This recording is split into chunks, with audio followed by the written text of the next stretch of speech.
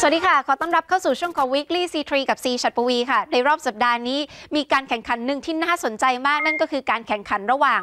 มันสมองมนุษย์และซูเปอร์คอมพิวเตอร์ของทาง IBM ว่าใครจะเหนือกว่ากันค่ะ ซึ่งการแข่งขันนี้นะคะ ได้จัดขึ้นในเกมโชว์ที่มีชื่อว่า Jeopardy ค่ะ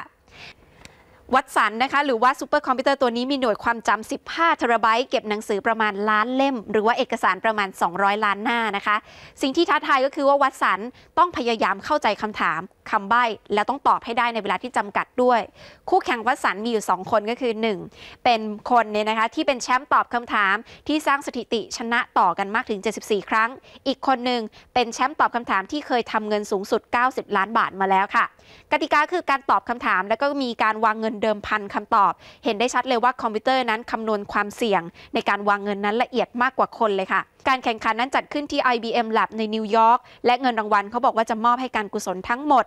โดยพนักงาน IBM เชียร์มนุษย์นะคะเขาบอกว่ามันเป็นเหมือนกับการสู้กันระหว่างมนุษย์ กับเครื่องจักรอีกครั้งหนึ่ง หลังในอดีตที่ผ่านมา IBM คอมพิวเตอร์ที่ชื่อว่า Deep Blue นั้นเคยชนะแชมป์โลกหมากรุกมาแล้วในปี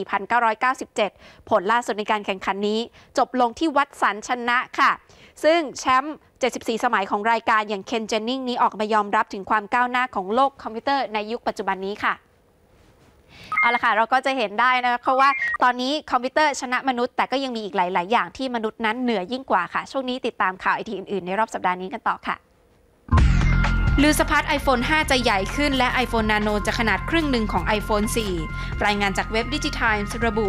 iPhone 5 จะมีขนาดจอ 4 นิ้ว เพื่อลดช่องว่างระหว่าง iPad โดยผู้ผลิตชิ้นส่วน iPhone เผย Apple เริ่มทดสอบ iPhone 5 แล้ว นอกจากนี้ล่าสุด Wall Street Journal รายงานถึงข่าวที่ Apple จอก iPhone ที่ราคาถูก และเล็กลงครึ่งหนึ่งของ iPhone 4 โดยพัฒนาในนาม N97 เพื่อสู้ในการแข่งขันสูงในตลาดสมาร์ทโฟน โนเกียยกเครื่องครั้งใหญ่จับมือ Microsoft เตรียมออกสมาร์ทโฟนบนระบบปฏิบัติการ Windows Phone หวังชิงส่วนแบ่งการตลาดคืน หลังถูกกดดันหนักจาก Apple และ Google พร้อมเปลี่ยนโครงสร้างผู้บริหารระดับสูงใหม่ 4 รายปิดท้ายที่คลิปนี้นะคะ จริง ๆ ออกมาตั้งแต่ช่วงปีก่อนแล้วค่ะ แต่เป็นคลิปที่น่าสนใจที่พ่อลูกเขามีไอเดียใสส่ง iPhone ไปอวกาศค่ะ เขาส่งไปอวกาศจริง ๆ นะคะ Fourteen. นี่นะคะเป็นการทดลองของพ่อลูกคู่นี้นะคะ ใส่ก๊าซฮีเลียมลงไปในบอลลูนขนาดใหญ่นะคะ แล้วก็ iPhone ไปด้วยค่ะ ก็ถ่ายภาพลงมานะคะ ก็จะเห็นว่าลอยขึ้นไปสูงถึงอวกาศแล้วนะคะ ในสภาพที่ไร้แรงดึงดูดนะคะ ก็ น่าสนใจมากนะคะ แหม ถ้าส่งตัวเองไปได้นี่ก็คงจะไม่กล้าส่งแบบนี้นะคะบอกว่าเป็น iPhone เลยกล้าส่งก็เสียดายอยู่เหมือนกันนะคะ ช่วงนี้หมดเวลาของ Weekly C3 แล้วพรุ่งนี้มาติดตามข่าวไอทีกับ C กันค่ะ สวัสดีค่ะ